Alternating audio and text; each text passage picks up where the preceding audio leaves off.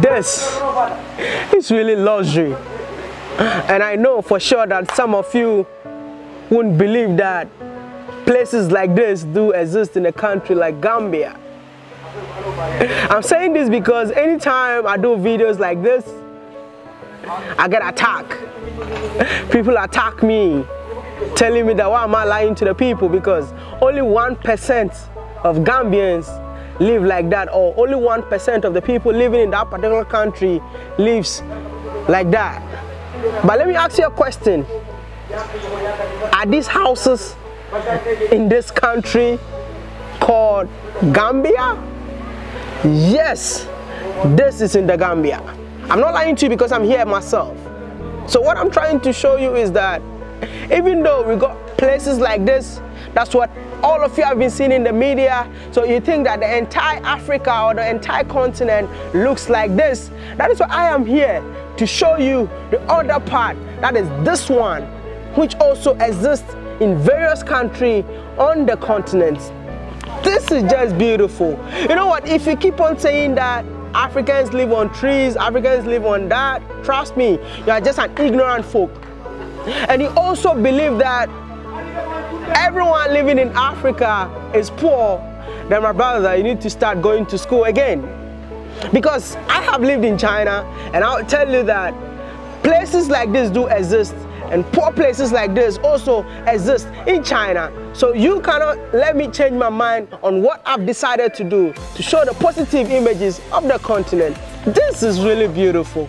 Oh my goodness. I know you're enjoying, you know, I know definitely you're not seeing this part of Gambia but hey, your boy Mr. Maya is ready to take Africa to the world, not just to the world, but tell Africans that things like this do exist in their continent. So it's about time they appreciate. It's time for us to stop what? Complaining and look for solution and what? Think about the positive image of the continent. I believe that Africa is the future and young Africans are the future. It's time for us to tell our own story and make this continent great again. Aya Maya.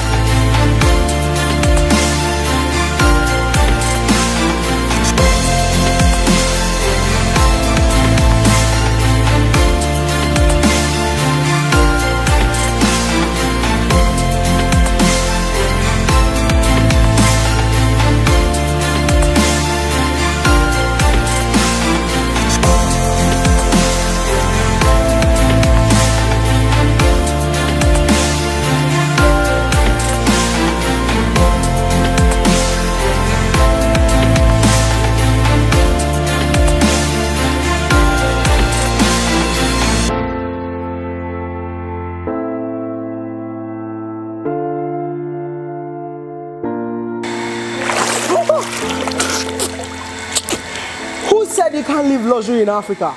My brother, my sister. Let me sip my Sprite, man.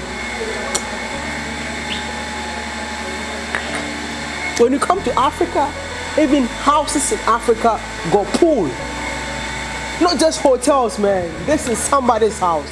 Bro, this is really luxury. But they will never show you this part of Africa. So you think that places like this do not exist. But brother, you don't even need a lot of money to live luxury in Africa. You don't need too much money to live good in Africa. Trust me, that one room that you are sleeping, the one room that you paid so much money can help you live luxury in Africa. So why have you decided to avoid the continent Africa? It's time for we Africans to reclaim our land.